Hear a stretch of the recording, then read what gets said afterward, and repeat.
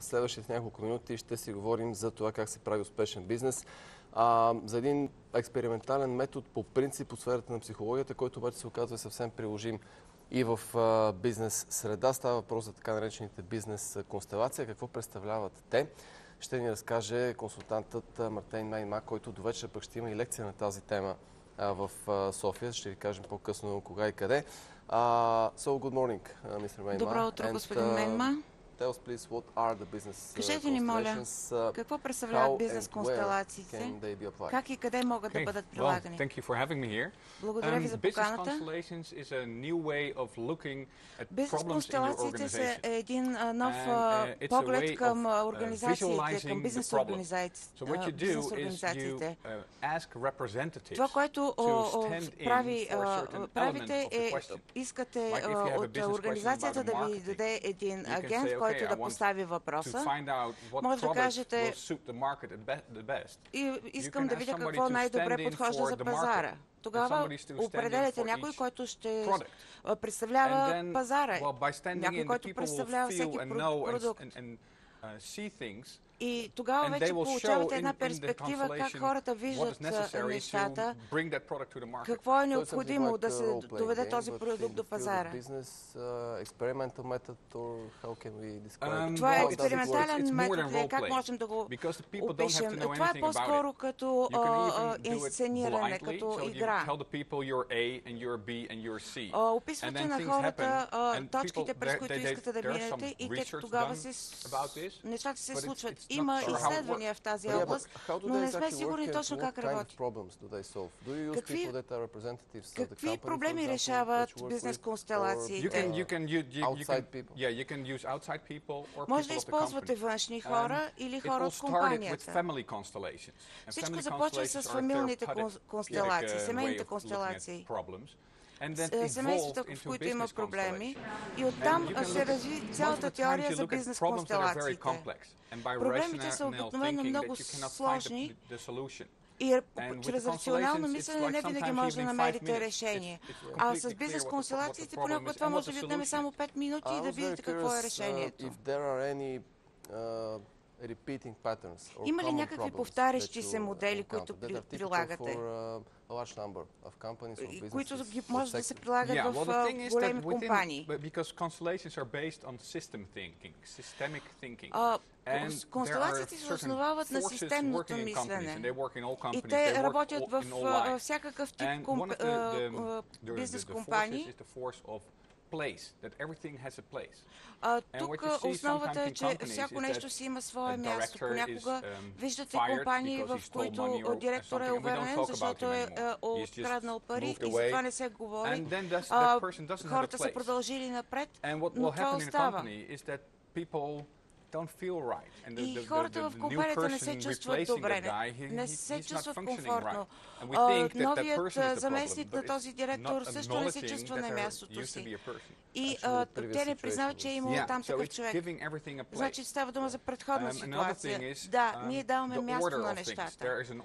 Освен това става дума и за реда, за иерархията в компанията. имате един but менеджер, който понякога And казва, the- аз не съм точно менеджер. Хората не харесват подобни неща, те искат нещата да са ясни. Не е необходимо да сте много строг и стриктен Um, шеф. What models do you apply, for example, when you have to solve uh, those types of uh, let's Какви подходи uh, прилагате, uh, когато трябва да решавате подобни проблеми Uh, в една uh, организация? you apply when you Как- have this uh, problem какво- of relationship? Как можете да model? подходите What- what- при yeah. решаване на Uh, in тези a business проблеми? constellation, uh, В, how, the, uh, how do you model it? To как solve it? моделирате There's- there- there- една the бизнес business constellation is not a констелация? modeling. Бизнес констелацията не е моделиране. Първото нещо, което правите, правите интервю, задавате въпроси, но не навлизате в голяма дълбочина. Това е разликата от консултациите. Вие търсите представител на, отделните елементи и тогава самата констелация ви показва къде са проблемите. И когато махате хора, казвате, застанете тук отстрани, And by talking, by like, И когато разговаряте с, с solved. тях и им давате реплики, които те да изговарят, what I want to do with the constellation. I то really тогава feel в ума си аз съставям един модел, какво искам да направя с тази констелация. Значи, е, е, става it's дума за difficult сценарий. because Не. everything time it's new. And the other way, I love it because I А, don't have to Всичко е think a lot ново. and I don't have to А, prepare a lot Аз затова харесвам този Uh, метод, when do you защото propose, винаги има нови неща. To, uh, a director or to a manager in a company to set up a Кога предлагате е, да uh, се решат проблемите с, чрез бизнес констелация? Кога давате такова предложение? Винаги, когато имате сложни проблеми, многопластови проблеми, или когато си мислите, например, за изследване на пазара, например. 30 minutes with a Това би отнело иначе месеци, докато с бизнес констелацията това отнема около at- at- 30 at минути. Това е един нов um, поглед върху целия ви бизнес, върху пластовете информация, до които искате да достигнете. uh, uh, Може ли да се използват тези модели активно или те само когато има проблеми? Те- може да се използва и активно. Примерно, когато искате да, се um, да into компании или да уволните някой, може да видите какво ще се случи. Самата констелация ще ви по- по- помогне да видите къде биха um, могли да се появят проблеми measurements to, uh, solve that. и така да And ги also решите. maybe uh, an interesting uh, question will be if they work only for big companies, for Само за complex големи а, structures, компании or ли са also, подходящи uh, а, smaller а, businesses бизнес or констелациите companies? Can you или use them? Have you worked, работите for при example, по-малки with a- with a small бизнеси? company, for Yes, example, yes, 10, I've worked 15 with people? both. Yeah, the thing is with big companies, it's um, a, it's more and more a real organizational a business А, при constellation. големите а, And I've worked with a компании lot of а, uh, self-employed people. Именно а, but then а, it а, тези soon констелации ни помагат по-бързо да решим проблемите. Но може да е и при хора, които работят сами, може да работят и при семействата. Пак ви казвам, всичко тръгна от семейните констелации. Можете ли да ни дадете пример, случай от uh, вашата практика, когато е бил решен конкретен проблем или ситуация? Um, It's- Yes. You don't need, you don't need to mention names, but Не е No, необходимо like да a- споменавате think имена, about that. разбира се. Um, well, actually, a very clear, very, very basic question. This, this Един small много company ясен had и a много question. We основен have въпрос, both customers in the uh, business, business който cu- има една customers and we have компания.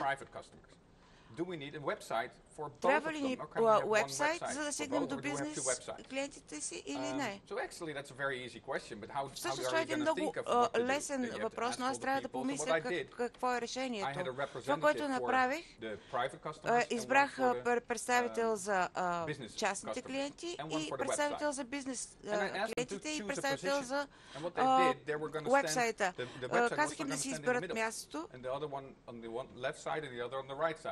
И тогава в средата застана представителя на, на, на уебсайта, от двете страни застанаха представители на клиентите и този, който представляваше уебсайта, каза, ма какво um, става, аз не, не виждам. Е. Тогава um, моментално те стигнаха до извода, че трябва да направят уебсайт. websites. So it's, it's not rational. Това не винаги е рационално решение, но когато видите тази констелация, um, когато видите и изпитате как тя работи,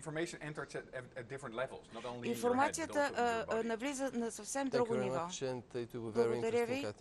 Беше много uh, интересно за всички нас. Да видим как ще работят Uh, тези представители тук в България. uh, А до вечера ще научим как работи това. Русица Константинова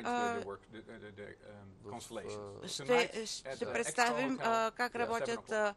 а, а, бизнес констелациите в в Хотел Експо в 7 часа може да чуете лекцията и да участвате в семинара с Мартин Майма. Ще научите много за този наистина полезен начин да се справяте с проблемите вътре в компанията.